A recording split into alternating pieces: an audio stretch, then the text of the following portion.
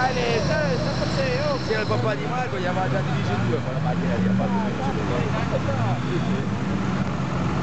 va a